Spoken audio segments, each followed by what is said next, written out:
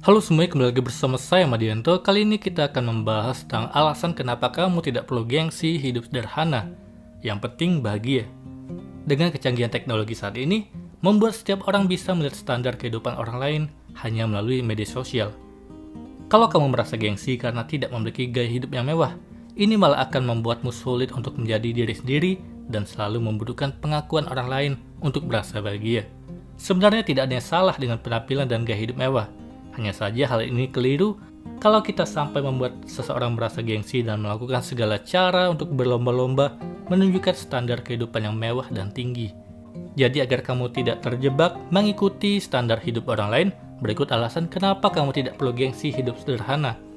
Yang pertama, hidup sederhana bukan berarti kamu kekurangan. Apa sih yang membuat beberapa orang malu untuk hidup sederhana? Mungkin beberapa orang masih ada salah kaprah tentang arti hidup sederhana Padahal hidup sederhana bukan berarti kamu hidup dalam kekurangan, melainkan kamu hidup cukup menggunakan uang secukupnya sesuai kebutuhan. Jadi sederhana di sini artinya kamu menggunakan sesuatu secukupnya dan tidak berlebihan. Nyatanya banyak orang yang memilih berpenampilan sederhana meski memiliki banyak uang. Kedua, kamu lebih mudah dalam mengelola keuangan. Menjalani hidup sederhana akan mengajarkanmu lebih mudah dalam mengelola keuangan. Bagi kamu yang sudah nyaman menjalani hidup sederhana, tentu sudah merasakan manfaat yang besar ini. Kamu pun bisa membedakan antara mana kebutuhan dan keinginan. Jadi dengan hidup sederhana kamu bisa menghindari perilaku konsumtif yang berlebihan, sehingga kamu terhindar dari kata boros. Hasilnya kamu pun bisa menyisihkan tabungan secara rutin dan terbebas dari hutang. Ketiga, bisa menyesuaikan gaya hidup dengan kemampuan. Salah satu alasan yang membuat kamu tidak perlu gengsi hidup sederhana adalah bisa menyesuaikan gaya hidup dengan kemampuan. Ini artinya, sebelum kamu mengikuti standar atau gaya hidup orang lain, kamu harus menyesuaikan kemampuan dan kondisimu terlebih dahulu. Jangan sampai kamu melakukan segala cara hanya untuk menunjukkan gaya hidup yang mewah tapi jauh dari yang sebenarnya. Ini sama saja kamu membohongi diri sendiri dan orang lain. Lebih baik tampil menyesuaikan kemampuan diri sehingga tidak ada pihak yang dirugikan. Keempat, hidup sederhana membuat kita menjadi lebih pandai bersyukur dengan hidup sederhana akan membuat kita merasa cukup dan tidak terusik dengan standar hidup orang lain. Inilah yang otomatis akan membuat kita pandai bersyukur sehingga hati pun merasa lebih tenang. Hidup sederhana juga mampu membuat kita mensyukuri apa yang kita miliki saat ini dan tidak mudah menyia-nyiakan sesuatu yang kamu capai. Jadi jangan gengsi hidup sederhana. Kelima, tidak terlena mengikuti tren yang tidak ada habisnya. Di era yang begitu cepat, dan adanya perubahan setiap saat tentang tren-tren baru yang muncul, membuat banyak orang tertarik mengikutinya hingga rela mengeluarkan budget yang tidak sedikit. Tapi dengan menerapkan hidup sederhana, kamu tidak akan mudah terlena mengikuti tren-tren baru yang tidak ada habisnya. Lebih baik pilih tren yang sesuai dengan kepribadian dan nyaman untuk diterapkan sehingga kamu tetap bisa menjadi diri sendiri dan tidak melewati batasan. Apakah beberapa alasan tadi sudah membuatmu yakin dan tidak gengsi lagi untuk hidup sederhana. Nyatanya memiliki gaya hidup yang menyesuaikan kemampuan akan membuat hidup kita jadi lebih tenang. Jadi jangan gengsi hidup sederhana. Bersyukur atas apa yang kamu miliki saat ini akan membuat hidup menjadi lebih bermakna. Kali ini kita akan membahas tentang mindset untuk mengubah gaya hidup menjadi lebih sederhana. Mengubah gaya hidup dari terbiasa mewah menjadi lebih sederhana, bahkan harus mengencangkan ikat pinggang tidaklah mudah untuk kebanyakan orang. Ada rasa terkekang sekaligus gengsi pada teman-teman. Tapi tentu saja ada kalanya kamu benar-benar tidak mungkin lagi untuk melanjutkan gaya hidup lamamu yang mewah dan boros. Kamu harus belajar realistis. Kalau tidak, bahaya keuangan yang lebih besar menjadi sulit terhindarkan.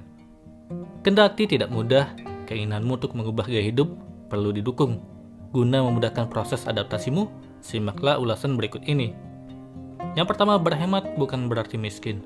Justru keputusanmu untuk mulai berhemat sekarang juga adalah untuk mencegahmu terjerembab dalam kemiskinan. Tabunganmu mungkin telah terkuras cukup banyak. Tapi sejauh mana ada yang diselamatkan, lakukanlah. Bahkan kalau tabunganmu setelah dihitung-hitung masih lumayan, jangan tunda lagi keinginanmu untuk mengubah gaya hidup. Lebih ringan mengubahnya dengan kesadaranmu sendiri daripada kelak kamu hanya terpaksa oleh keadaan ketika telah tak ada uang lagi di sakumu. Kedua, memang selalu ada yang harus diprioritaskan dalam hidup. Memutuskan untuk mengubah gaya hidup adalah tanda kamu memahami apa yang seharusnya diprioritaskan untuk saat ini. Apakah itu rencanamu memiliki rumah sendiri, berkeluarga, atau tabungan pendidikan untuk anak misalnya? Kamu memang tidak dapat terus berhura-hura dan hanya memikirkan diri sendiri. Usiamu bertambah, tanggung jawabmu juga. Jadi jangan mengelak dari keharusan mengatur prioritas dalam kehidupanmu. Ketiga, malu hidup sederhana tak menyelamatkan dirimu dari masalah keuangan. Apabila kamu harus merasa malu, malulah kalau kamu sampai terjerat masalah keuangan yang sesungguhnya masih dapat dicegah. Bayangkan apa yang ada di orang-orang, seandainya ada orang yang terkenal bergaya hidup mewah tiba-tiba mencari pinjaman uang ke mana-mana. Dapatkah orang itu menanggung rasa malunya? Itu berlipat-lipat beratnya ketimbang rasa malu lantaran orang itu harus menurunkan gaya hidup dengan mengubah gaya hidup, artinya kita masih punya kendali atas kehidupan kita. Ketika hari-harimu habis untuk memikirkan cara melunasi utang dan mencari pinjaman yang baru. Keempat, makin sedikit yang kamu butuhkan, bukankah semakin baik? Kurang tepat kalau kamu mengartikan semakin kaya sebagai makin banyak kebutuhan. Orang kaya sesungguhnya justru yang kebutuhannya paling sedikit. Bukan berarti ia telah benar-benar memiliki segalanya, melainkan ia merasa cukup dengan apa yang dimilikinya saat ini. Dengan sedikitnya kebutuhan, kamu tidak perlu ribet lagi memikirkan terlalu banyak hal hanya untuk mengejar kepuasan diri. Kamu dapat fokus pada hal-hal yang lebih penting untuk masa depan sekaligus bermanfaat bagi orang lain. Kelima, bekerja keras seperti apa pun tak dapat mengimbangi gaya hidup mewah. Permasalahan utama saat bergaya hidup mewah adalah tidak ada batas maksimal. Ini seperti di atas langit masih ada langit di atas suatu kemewahan, pasti masih ada yang lebih mewah lagi. Lantas dengan cara apa lagi? Kamu akan terus mencari uang apabila gaya hidup yang coba diikuti pun tidak ada titik akhirnya. Jangan sampai kamu tergoda melakukan berbagai kejahatan demi membiayai gaya hidup. Itu bukan jalan hidup menuju kebahagiaan yang sejati. Kamu tak lebih seperti diperbudak oleh gaya hidup mewah, mencari uang sebanyak-banyaknya hanya untuk cepat-cepat dihabiskan lagi. Keenam, mengantisipasi masa depan adalah tindakan bijaksana. Sebaliknya, mengabaikan segala potensi bahaya di masa depan adalah ciri khas yang bodoh. Makin kamu dapat menggunakan akalmu, makin kamu mampu membayangkan hal-hal terburuk yang mungkin saja terjadi di masa depan. Bedanya dengan penakut, kamu tak terhenti pada sekedar membayangkan, melainkan lekas mengambil berbagai langkah pencegahan. Bukankah orang yang paling mujur adalah yang masih memiliki tabungan ketika kondisi sulit terjadi. Ketika mindset tadi tertanam kuat oleh dirimu, kamu akan melalui perubahan gaya hidup dengan perasaan ringan. Bahkan, proses transisi ini membuatmu mampu memaknai kehidupan dan kebahagiaan dengan lebih baik. Itulah tadi mindset untuk mengubah gaya hidup menjadi lebih sederhana. Kali ini kita akan membahas tentang fakta dari penelitian bahwa hidup sederhana membuat orang lebih bahagia. Kita mungkin sering melihat bahwa orang yang hidupnya biasa-biasa saja justru hidupnya lebih nyaman dan bahagia. Ini bukan karena dia tak mampu memiliki kehidupan yang mewah atau membeli barang-barang yang mewah, tetapi ini adalah pilihan. Ini ternyata bukan hanya isapan jempol belaka. Kesederhanaan membawa ketentraman lahir dan batin, seperti yang dilansir dari halaman Power of Positivity menurut sebuah penelitian di Inggris dari tahun 2018 di mana 2000 orang menjawab pertanyaan tentang penyebab stres dalam kehidupan modern. Kecemasan tentang uang mempengaruhi sekitar 40% populasi dan sebaliknya, orang yang tak terlalu cemas akan hal itu memiliki tingkat stres yang lebih rendah. Berikut alasan mengapa orang sederhana membuat hidup lebih bahagia. Yang pertama, tidak mengikuti gengsi yang tidak ada habisnya. Kalau hidup kita terus mengikuti gengsi yang tak ada habisnya, selain uang yang akan kita keluarkan terus-menerus, hidup kita juga akan penuh penderitaan dan ketidakbahagiaan.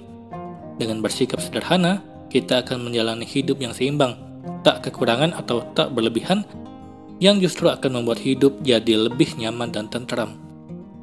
Kedua, tidak mengikuti standar orang lain. Kalau terus membandingkan diri dengan orang lain, hidup kita akan selalu merasa kekurangan dalam segala hal dan tak pernah merasa puas. Dengan membuat konsep bahwa hidup kita punya cara dan selera masing-masing, dan tak harus mengikuti orang lain. Justru itu akan membawa pada nilai kebijaksanaan. Hidup juga akan lebih tenang karena tak perlu memperhatikan anggapan atau penilaian orang lain tentang hidup kita. Ketiga, pikiran yang lebih jernih. Ketika dirimu memiliki banyak barang, itu dapat membebani secara mental, bahkan kalau dirimu tidak menyadarinya. Dari tidak dapat menemukan barang saat menginginkannya hingga hanya merasa kewalahan, memikirkan bagaimana cara menyusunnya. Memiliki lebih sedikit, hal itu juga dapat berarti mengurangi beban pikiran. Keempat, kepercayaan diri yang lebih besar. Hidup dengan lebih sederhana membuat seseorang tidak khawatir tentang memiliki mobil mewah atau jam tangan yang mahal. Itu artinya tanpa memiliki hal tersebut, hidup mereka tetap berjalan tanpa merasa kekurangan kepercayaan diri. Kamu harus merasa percaya diri akan dirimu, bukan karena apa yang kamu punya, tapi akan siapa dirimu. Kelima, hubungannya lebih baik. Ini adalah hal yang mungkin tak pernah diduga. Bagaimana orang-orang bersaing setiap hari untuk membuat orang lain terkesan antara orang yang satu dengan orang yang lain, bahkan dari keluarga yang satu dengan keluarga yang lain, sehingga dengan hidup sederhana, dirimu tidak akan menjadi sorotan yang berpotensi membuat iri orang lain dengan sesuatu yang kamu miliki. Dengan demikian, hubungan orang lain juga akan jauh lebih baik. Hidup sederhana bukan berarti sama sekali tak memiliki barang yang mewah atau barang mahal, namun kita akan tahu bahwa batasan dan prioritas mana hal-hal yang lebih penting untuk dipenuhi dalam hidup dan bagaimana semua itu memberi nilai bagi hidup kita. Kali ini kita akan membahas tentang tips menjadi sosok rendah hati dan sederhana. Keinginan untuk pamer dan dipandang sebagai orang hebat membuat sikap rendah hati kian langka. Padahal, memelihara sikap ini tidak hanya membuat hidup menjadi lebih damai, kamu pun akan disenangi banyak orang. Kabar baiknya, sikap rendah hati itu bisa dilatih. Berikut 5 tips menjadi sosok yang rendah hati dan sederhana. Yang pertama adalah pendengar yang baik. Kunci utama dari sikap rendah hati adalah kemampuan untuk menghargai orang lain, serta membuat mereka merasa diperhatikan. Salah satu langkah yang dapat kamu lakukan yakni menjadi pendengar yang baik. Menjadi pendengar yang baik akan melatihmu untuk mengendalikan ego diri, sebab biasanya ego itulah yang membuat kita bersikap sombong. Untuk menjadi pendengar yang baik, hal penting yang harus kamu ingat adalah mendengarkan, bukan untuk memberinya jawaban. Cukup berikan dia perhatian dan merespon dengan tepat. Terkadang saat orang berbicara atau mengutarakan masalahnya, bukan untuk mencari pemecahan masalah, melainkan sekedar ingin ditemani dan diperhatikan. Kedua, mensyukuri apa yang kamu punya. Tanpa rasa syukur, kamu akan mudah sekali merasa apa yang dimiliki saat ini semata-mata karena hasil kerja kerasmu. Tanpa sadar, hal itu juga melibatkan bantuan banyak orang dan pastinya campur tangan Tuhan. Sebab itulah kenapa penting melatih rasa syukur. Dengan bersyukur, kamu akan sadar bahwa berbagai kenikmatan yang diperoleh bukan hanya kontribusi dari usahamu saja, melainkan juga rahmat yang Tuhan berikan. Ini akan menjagamu untuk selalu bersikap rendah hati, dan sederhana. Ketiga, meminta bantuan saat membutuhkan. Di antara penyebab seseorang sulit sekali meminta tolong adalah pride atau harga diri. Coba untuk hilangkan pemikiran kalau meminta bantuan orang lain itu buruk atau memalukan. Semua hal itu dilakukan karena memang butuh dan bukan niatan untuk memanfaatkan. Maka kamu tidak mesti sungkan untuk minta tolong. Justru dengan mengakui dirimu tidak sempurna dan butuh bantuan orang lain, hal itu akan membuatmu rendah hati. Kamu sadar bahwa manusia itu tidak bisa hidup sendiri. Dengan begitu, bisa terhindar dari sikap tinggi hati atau sombong. Keempat, lupakan ingatan setiap selesai melakukan hal baik. Langkah penting lain supaya kamu senantiasa bersikap rendah hati, yakni menghilangkan harapan untuk dipuji.